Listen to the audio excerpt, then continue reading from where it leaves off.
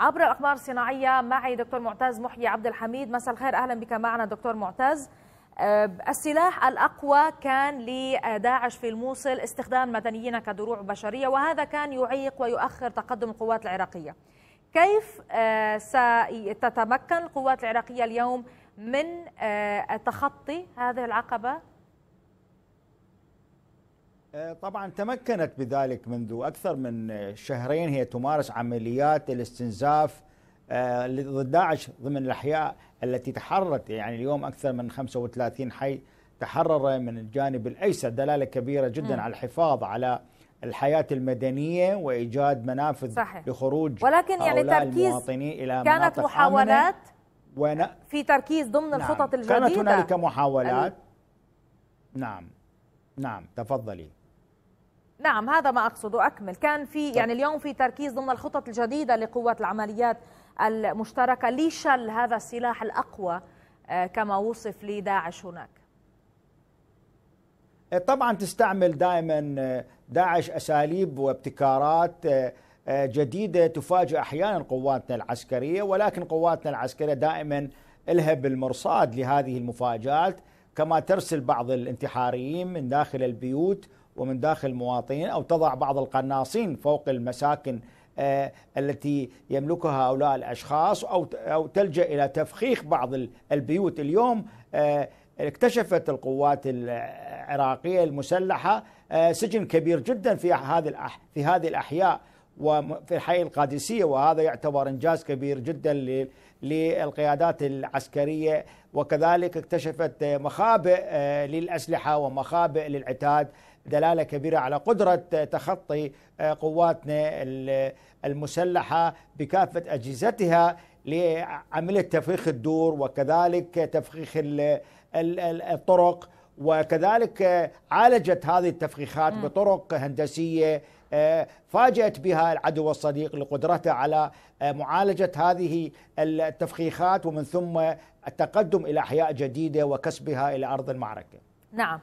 فيما يتعلق بشق مساعدة النازحين والتعامل معهم بعد آه، تقدم أكثر وأكثر في الموصل لصالح القوات العراقية كيف يتم هذا؟ يعني تحدث رئيس أركان الشرطة الاتحادية عن عودة الحياة كاملة للمناطق التي حررت بالمحور الجنوبي. آه، الذي تتواجد فيه. آه، مع لقاءات من ضمن مع أهالي الموصل في حسن الحديدي كان قال هو من أهالي الموصل أن كل يوم يمر عليهم طبعا بالمخيمات يعادل عاما كاملا. عن أي وقت أي فترة زمنية نتحدث هنا لتأمين حياة أفضل على الأقل لهؤلاء بعيدا عن معاناة المخيمات؟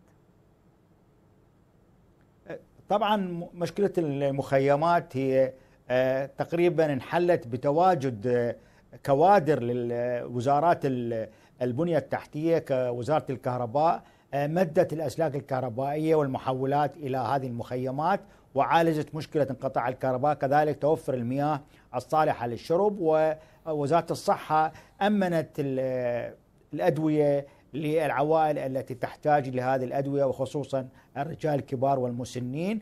وكذلك آه، توجهت وزارة التجارة لتأمين المستلزمات الغذائية من نعم. الحصص التموينية. وهذا دلالة كبيرة جدا على قدرة هذه الوزارات على تأمين هذه الاحتياجات الضرورية في داخل المخيمات.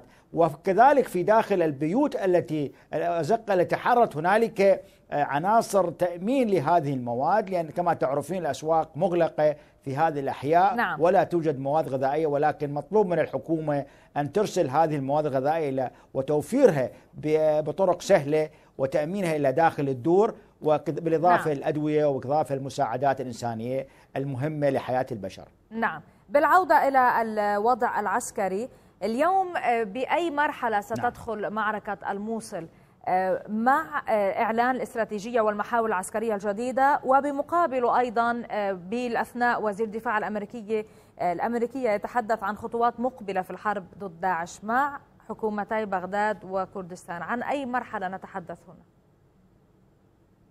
يعني اليوم وزير الدفاع التقى مع القيادات العسكرية العليا برئاسة حيدر العبادي وأكد السيد حيدر العبادي بتجاوز كافة العقبات الموجودة في هذه المعركة وتصميم وإصرار القوات العراقية على احتلال بقية الأجزاء من الساحل الأيسر والتمدد إلى الساحل الأيمن. وهذا هو ما يتضح من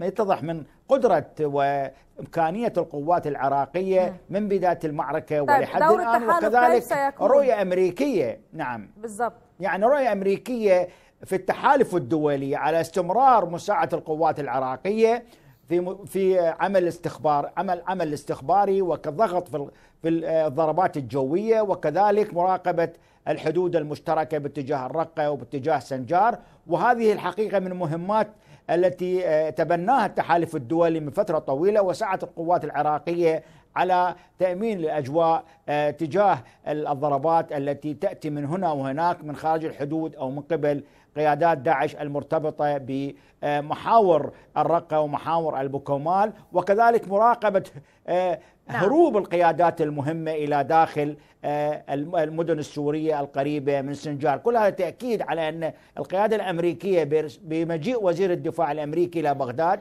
وجاء قبلها بأكثر نعم. من زيارة تأكيد على أهمية التعاون الاستراتيجي لمكافحة داعش وكذلك أهمية التواصل مع القيادة العراقية والقيادة الكردية نعم. لتأمين أجواء أكثر من إيجابية في المستقبل لمكافحة داعش وما بعد داعش شكرا. في العراق. دكتور معتز محيي عبد الحميد مدير المركز الجمهوري للبحوث الأمنية والاستراتيجية على هذه المشاركة معنا من بغداد.